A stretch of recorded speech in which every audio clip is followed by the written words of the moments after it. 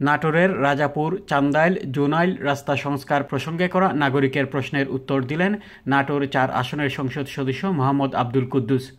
প্রশ্নটি করেন বড়াই গ্রামের উজ্জ্বল মোল্লা। এমপির কাছে তিনি জানতে চান রাজাপুর থেকে জোনাইল রাস্তার সংস্কার কাজ কবে থেকে শুরু হবে।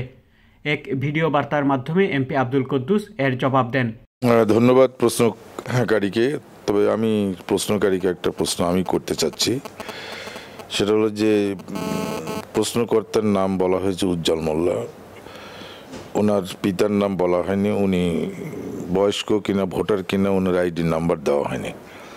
তারপরে আমার দায়িত্বের মধ্যে থেকে আমি প্রশ্নের উত্তরটা দিতে চাচ্ছি এবং ওনাকে এবং যাদের মাধ্যমে উনি প্রশ্নটা করেছেন, তাদের এটা স্মরণ করে দিতে চাই যে রাজাপুর থেকে জোনাল যে রাস্তাটি চান্দার উপর দিয়ে প্রবাহিত হয়েছে এই রাস্তার কোনো একসময় কোনো অস্তিত্ব ছিল না। উনিশশো ছিয়ানব্বই সনে জননেত্রী শেখ হাসিনার নেতৃত্বে যখন বাংলাদেশ আওয়ামী লীগ দীর্ঘ একুশ বছর পরে জনগণের প্রত্যক্ষ ভোটে নির্বাচিত হয়ে সরকার গঠন করে, ঠিক সেই মুহূর্তই আমার মাথায় চিন্তা চেতনায় ছিল যে এই বিশাল রাস্তাটিকে পাকাকরণ করার।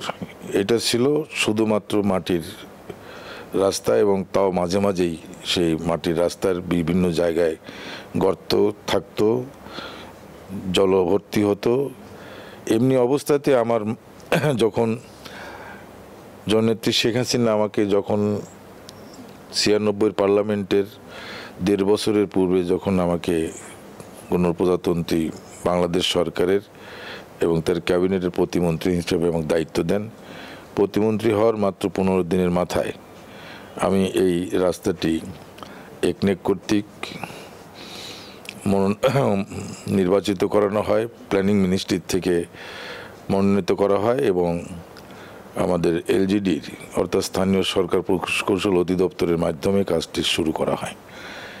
এবং রাস্তাটি করা দীর্ঘ রাস্তা এবং এই রাস্তার তখন ব্যবহার তখনকার দিনে ছিল প্রায় আট কোটি টাকার মতো। এখন সেই কম করে হলো পঞ্চাশ কোটি টাকা লাগতো এই এখন করতে গেলে।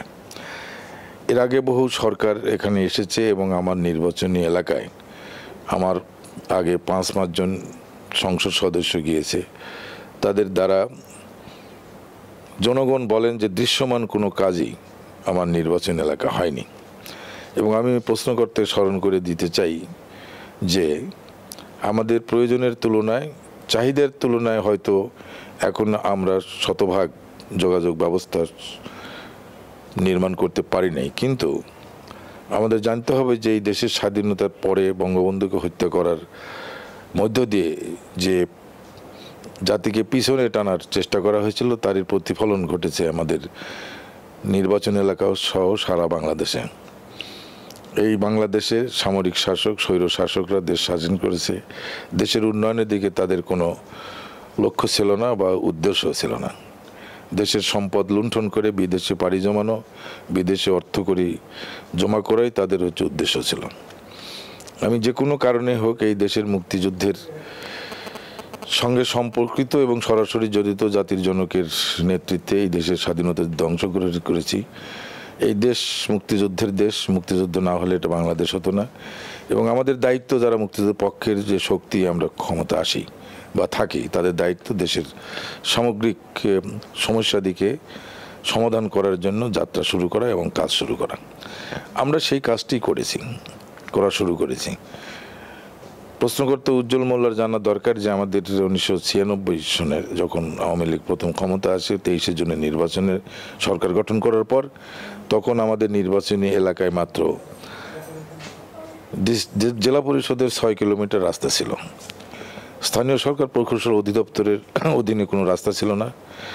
আর একটা রাস্তা ছিল সেটা হলো রোড সেনের হাইওয়ে যে রাস্তা সড়ক জন পরিবহন ইয়ে, সড়ক পরিবহন মন্ত্রণালয়ের অধীনে এবং সেটা ছিল আহমদপুর থেকে মোখারা হয়ে এখন যে থানার মোড় হয়েছে বন, বড়াইগ্রাম এবং থানার সামনে দিয়ে লক্ষ্মীকুল বাজার হয়ে মানিকপুর দিয়ে জালসুকা হয়ে, সোনাবাজি হয়ে গুরুদাসপুর পর্যন্ত এই রাস্তাটি শুধু ছিল। একটি মাত্র রাস্তা সেটা সড়ক জনপথের রাস্তা।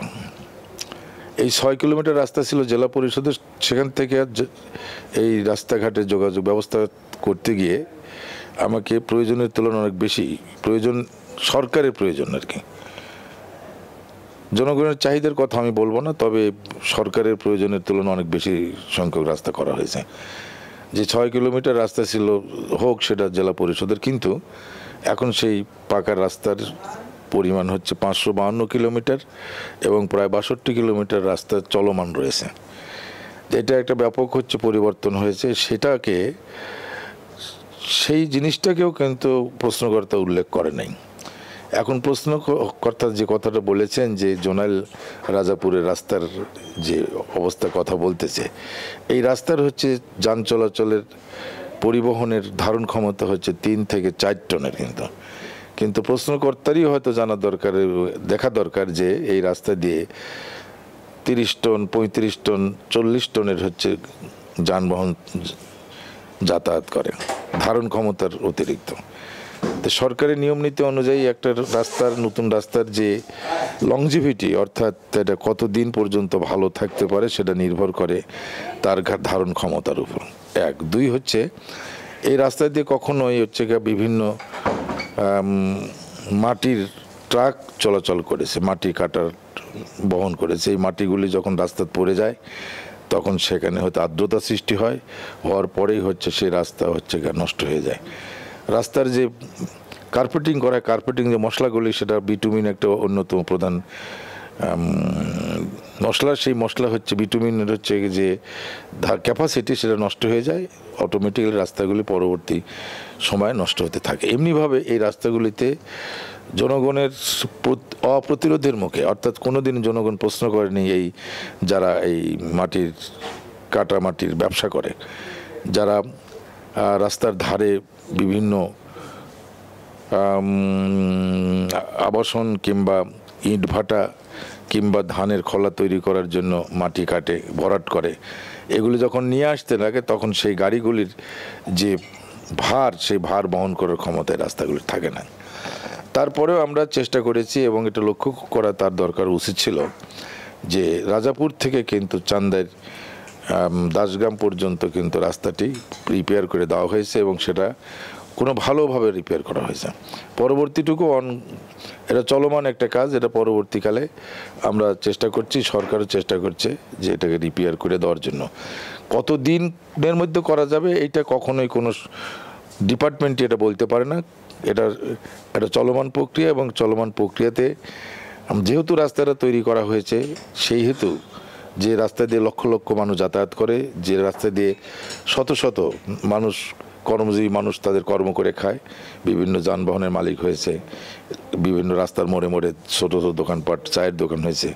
সেহেতু একাকে একটা গুরুত্বপূর্ণ রাস্তা হিসেবে আমরা বিবেচনা করেছিল, এই রাস্তাটা তৈরি করা হয়েছিল। তো আমরা চেষ্টা করব যে খুব তাড়াতাড়ি যাতে রাস্তাটা রিপেয়ার করা যায়। আমি উল্লেখ করতে চাই এই হিসাবে যে আপনারা, এটা তো এই রাস্তায় এই ধরনের আরও প্রায় বিশ পঁচিশটা এরকম গুরুত্বপূর্ণ বড় বড় রাস্তা রয়েছে।